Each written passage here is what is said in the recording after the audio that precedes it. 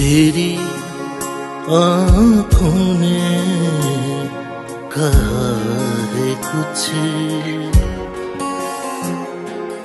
मेरी आँखों ने सुना है कुछ।